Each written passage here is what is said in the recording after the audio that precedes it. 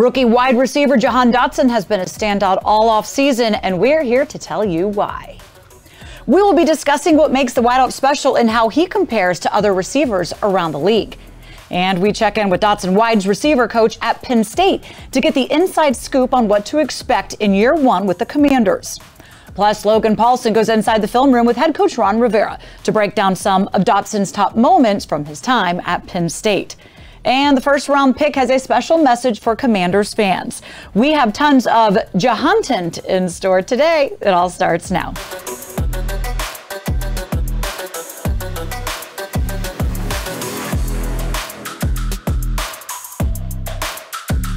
And welcome into Command Center, Julie Donaldson, Logan Paulsen, Santana Moss, and we are talking all about our first round draft pick, Jahan Dotson. A lot of excitement for him.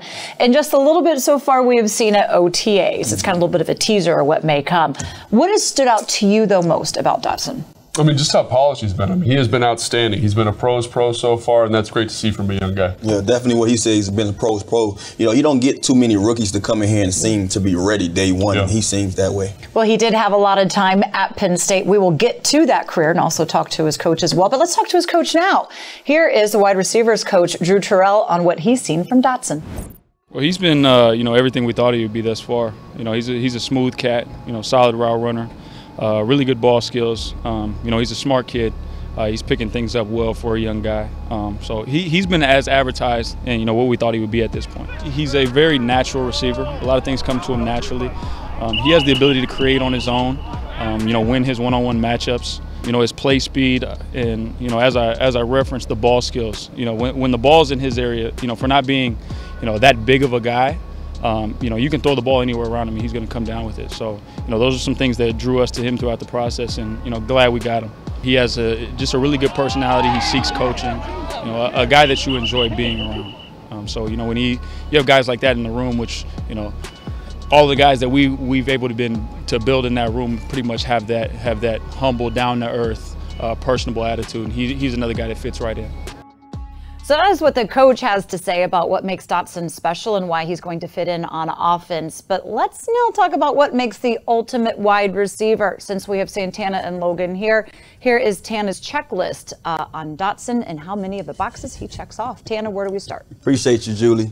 Now, Logan, this league been around for a long time, and yep. you very seldom see a receiver that checks off all the boxes. All the boxes. But I think right now we have what six boxes, and we yep. already saying now. I know it's it's, it's very premature, but this guy has showed us some things that we want to speak on right now. And out the gate, I want to talk about his football IQ. One of the things about football IQ, you can't play this game without having the smarts. Yeah. IQ stands out Cooper Kupp like. You know, he has the IQ. Yeah. Something that, you know, uh, Ron Rivera spoke on already. We see it already from yeah. how he's taking on mini camps and uh, OTAs. Another thing that stand out to me, hands. Yep. Uh, I look at hands like a, a D Hawks. You know, he yep. has, he goes up, he has the radius, the arm radius. He's going and snagging these balls. What you think about these first two that I checked off? Yeah, so I think this the hands is interesting because that's something you saw in college. He was outstanding. Yeah. He's got those big old white gloves that they kind of envelop the football. And Carson Wentz does not throw a softball. No doubt. And he catches that ball with ease. And I think this one, this football IQ one is directly related to this one, this route running one right here, because mm-hmm. he runs routes at like the next level, yeah. seeing different levels. So I'm glad that both those are on here. And we're talking about next level route running. Yeah. Who stands out to you? Davante Adams. Yeah, yeah. Next level route yeah.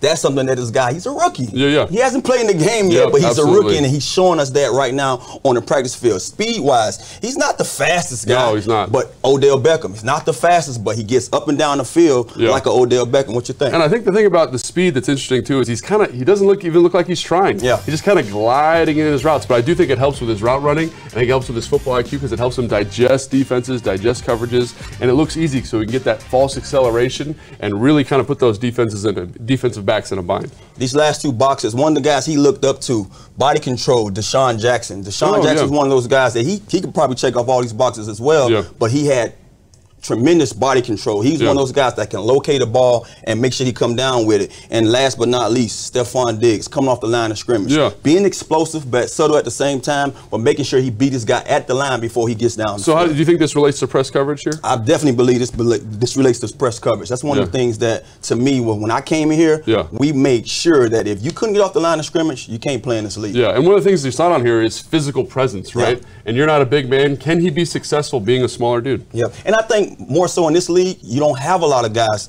putting that press on guys. These Yeah. guys are more off because Yeah. the league want the offense to be offense, high power scoring, Yeah. all that stuff. And these the boxes, and Jahan checks Check, them all checks off. them all, right. Thank you guys. Now we have seen Dotson make some impressive plays, but let's take a look at his college numbers. The former Nittany Lion appeared in 42 games through four seasons, setting the Penn State record for single season punt return average. Dotson put up big numbers his senior season, totaling nearing nearly 1,200 yards and 12 touchdowns, becoming the sixth Nittany Lion to record a 1,000 yard season. But what does he credit much of his success to? Well, here is Dotson after OTAs. I would say, I would say my wide receivers coach at, at Penn State, Coach Stubblefield. Uh, he, he was a big influence on me. Uh, had him for two years, and pretty much taught me a lot of life lessons. Um, I look at, I look, I look up to him as someone who, who I know I can always go to and always lean on, and uh, just talk about anything. And Coach Taylor Stubblefield joins us now, had Jahan for a couple years at Penn State. Look, he gives high praise to you as one of his mentors helping him here. But when he was drafted, you actually went to congratulate him and also made a point that he came back for his senior year for his brothers. What does that say for how it helped him maybe get even further ready for the NFL and also to the character of who he is as a player? Yeah, I think that um, you know, Coach Franklin, um, we do a really good job here at the Penn State of giving our guys the best information that they have. We we outsource it, eh, third party. We get information from uh, uh, the the teams around the NFL to see what his uh, draft draft status would be. And yeah, after his junior year, um, we had a meeting with him. Decided it would be best for him to come back to help his draft status, and, and, and he did that. He did it not only for himself, but also for, for the team, because Coach Franklin always says that if if somebody can get drafted as high as possible, that's better for them, and it's better for Penn State. And so uh, he trusted the process. He came back, had a heck of a year, and put himself to be um, with, with you guys, the Washington Commanders. One of the things that this team did very consciously is they went out, they wanted to get players that would be ready to go, that you don't have to really kind of wait and develop. Where would you say or expect him to come in here and have an impact right off the bat? Ooh, that, that that's going to be tough. You know, um, Jahan is extremely competitive, and that wide receiver room there at Washington is uh, is legit. And and you, you know, Coach Diaz has talked about uh, our defense coordinator here. Um, he talked about the best players can't have bad days, and Jahan is going to make sure that he does not have bad days and he's going to go in there and he's going to try to be as consistent as possible. And it sounds like he is doing a pretty good job of that.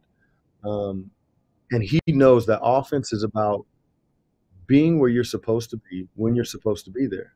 And then once you get that ball in your hand, then you know your your creativity, your your explosiveness.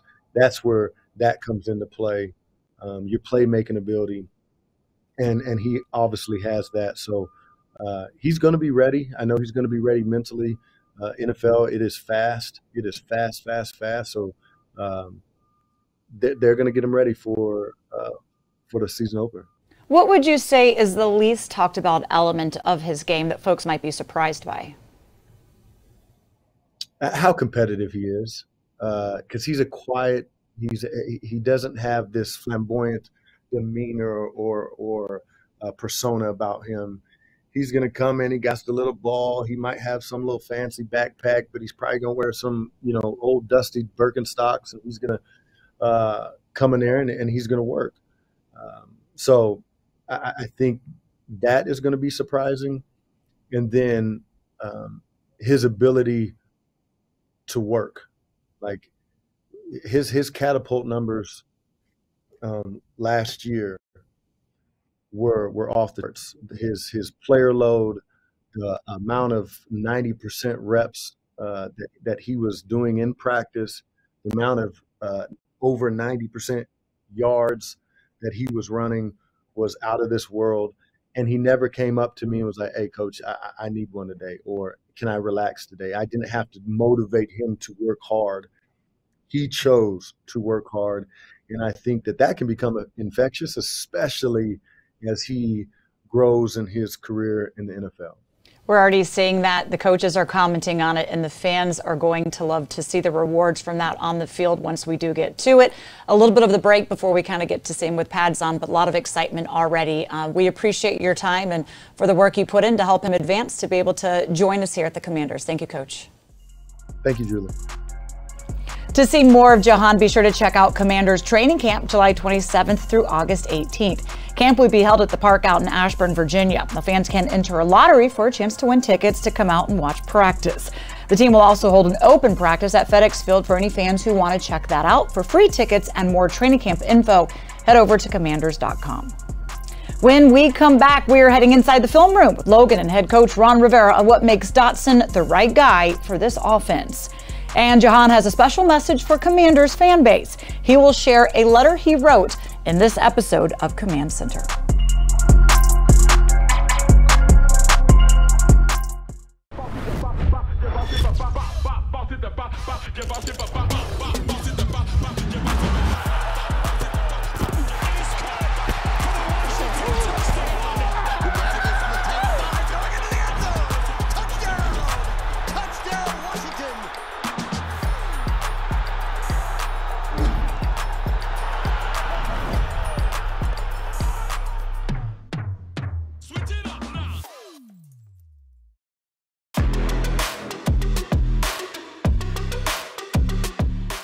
Getting to know Dotson a little bit off the field as well. But of course, what we really want to see is how he performs once training camp and the regular season is here. We've always already heard head coach Ron Rivera talking about what he brings to the receiver room.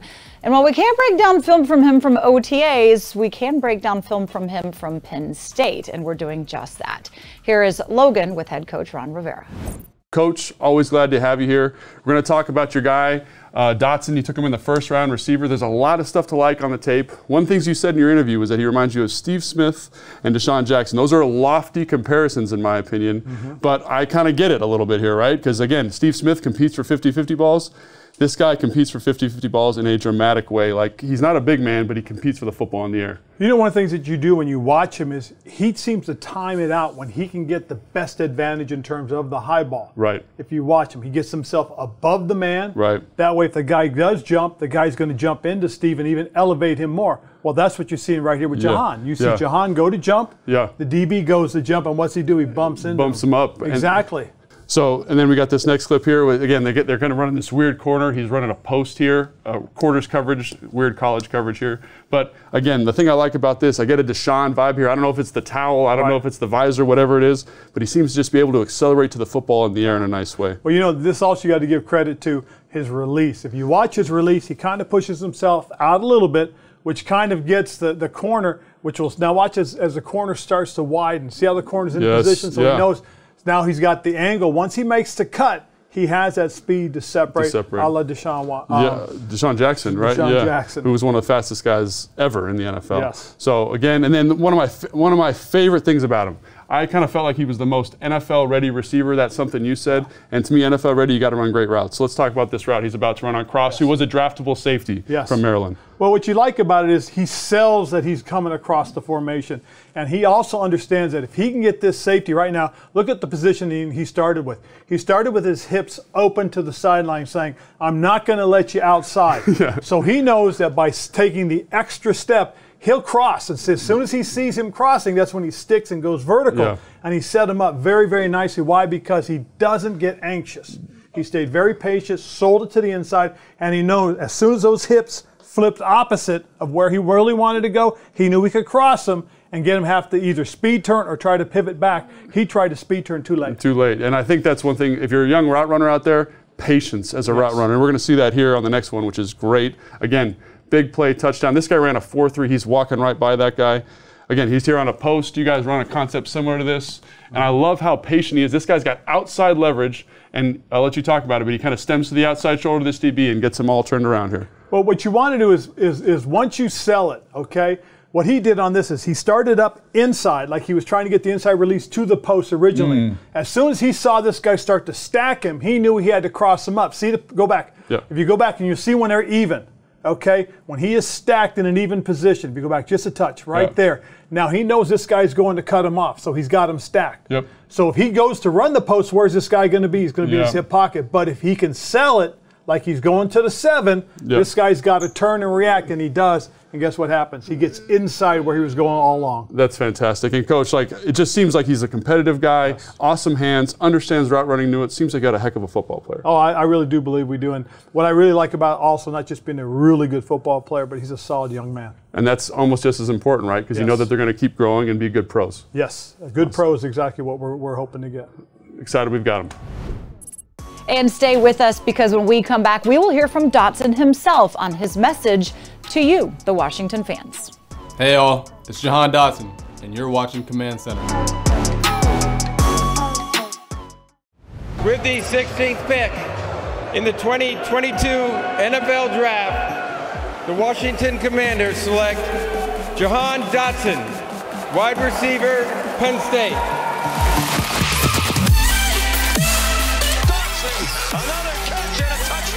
Best hands in the draft. And fires end zone touchdown. Jahan Dotson. Touchdown. Over the head. No, not over the head. Who else? Jahan Dotson.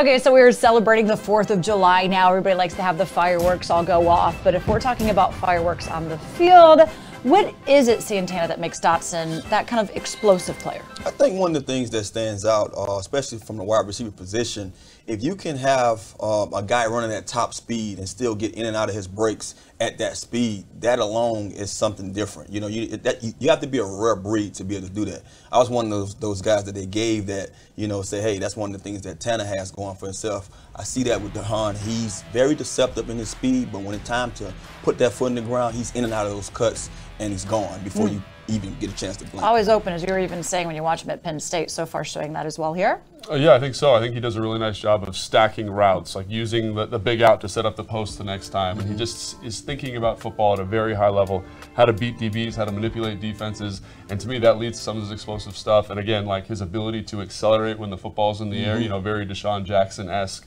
So a fantastic skill set for a young man. A lot of growing still to do, but really mm-hmm. excited about him. Well, we heard head coach Ron Rivera even saying how, you know, I mean, look, they're not going too hard against each other, but how he was right. able to get the better of a couple of our DBs out there as well. Right. Just early on, explosive plays hopefully will follow him throughout his NFL career, especially his rookie season as well. And since he is a rookie, well, we have to introduce him to the fans.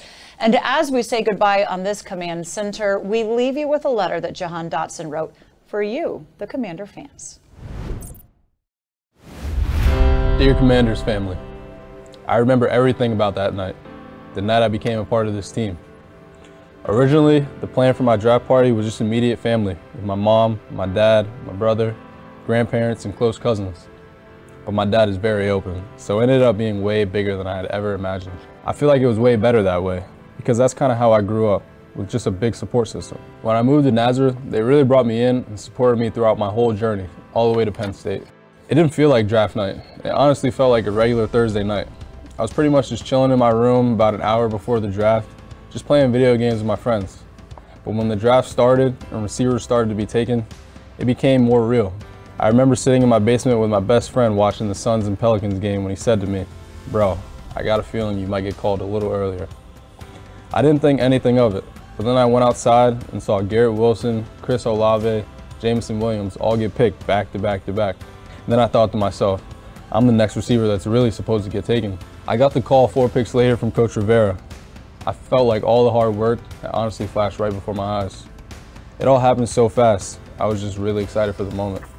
I would honestly say it's everything that I've ever imagined. Ever since I was a little kid, my dream was to always play in the NFL. I wanted no other job. When I was a little kid, my parents would buy me toy trucks and action figures, but I didn't even want to touch any of it. I didn't even open the boxes. Back then, a lot of people didn't believe in me. They would always say, You're too small. You would never do this thing. That's why it was good that everyone was there when I got drafted. Those people that were there, they believed in me and were always in my corner. I feel like I do a good job of not looking in the past at things you could have done because there's a rhyme or reason to why you didn't do it. You can't change the past. You can only change what's in front of you. My motto has always been to focus on the next play. If you mess up on one play, you can make it up on the next one. I've strived to be better every single day, not only on the football field, but also in life in general. I'm always looking forward to the future, not dwelling on the past or making the same mistake twice. It took a while for it to hit me that I had just fulfilled my lifelong dream. From the time that I flew out on the private jet to the team facility, I was trying to be thankful for every moment. It finally happened when they gave me the playbook and I had to start learning all this new terminology. I say it every day, but it almost feels like I'm a freshman in college again. Getting familiar with the new system and then trying to play fast and be comfortable. It's tough, but this is what I was made for. I'm just having fun doing it. I'm always looking forward to the next thing. That's always been part of my character. I'm not too big on self-accomplishments.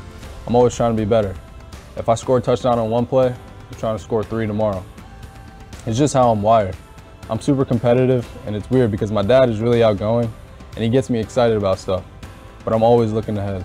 I'm doing everything I said I would do at a young age, but I try not to listen to the outside noise too much, and I never want to become complacent. It's one of my biggest fears. I feel like that makes me work even harder, because I want to be better every single day. I have bigger accomplishments and goals in mind, but you can't really focus on things that are going to be at the end of the season. You have to take care of what's coming tomorrow. It sounds cliche, but I want to be the best teammate possible. Any way I can help this team win, I'm willing to do it.